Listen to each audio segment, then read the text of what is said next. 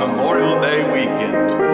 And as we think about the precious memories of those who've gone before, of course, we're so very grateful for the soldiers who have laid down their lives for our freedom. And we are thinking of those loved ones who've gone before us, who fought a good fight, finished the course, and kept the faith. I was thinking about my dear grandfather Jones, who in his last few moments on this earth was so sick. And my father leaned close to see if he could hear what Grandpa was saying. Both of them now are on the other side. But Grandpa, Dad heard him whispering, there's a holy and beautiful city whose builder and ruler is God.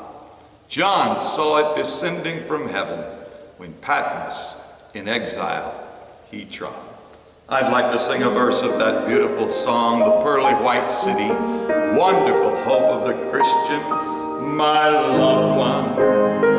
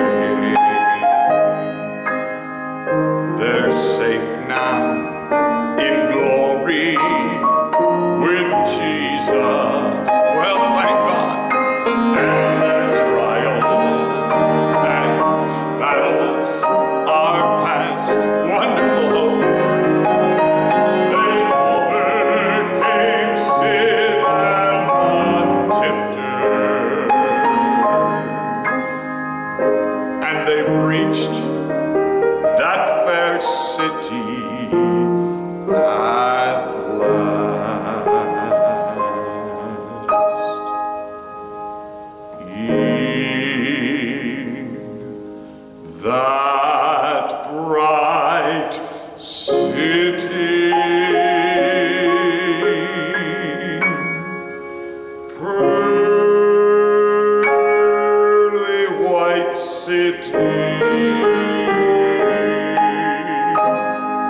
I have a mansion,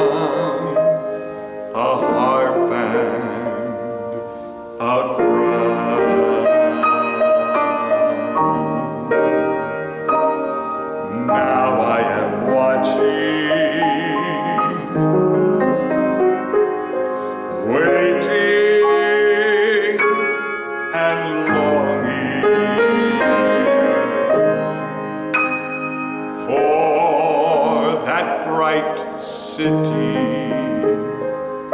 John saw coming down.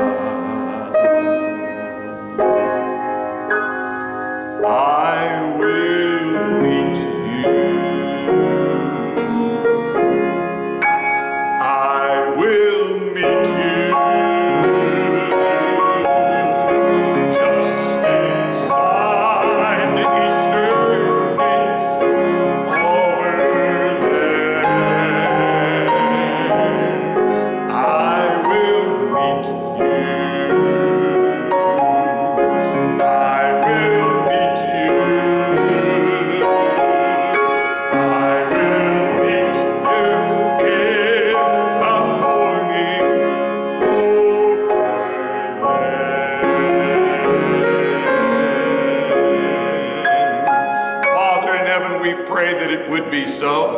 That one day there will be a grand reunion in the city of God, a city where there'll be no more sickness, no sorrow, no pain. Former things will all be passed away, and the Lord will make all things new. And praise God, there'll be no more death, and there'll be no more sorrow and grief in that city. We pray, Lord, that everyone that hears us this evening would come to the place in their own spiritual commitment to Christ they would realize that heaven is cheap, whatever it costs, that we would pay the price of full surrender to the will of God and walk with the King day by day. Bless those who are mourning the loss of loved ones that are especially acute at this time of the year. Put your strong arms of love around those who have recently lost loved ones, we pray. And may they be aware of the presence of the Lord who has promised he will never leave us nor forsake us.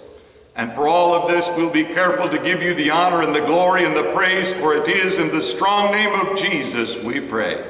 Amen and amen.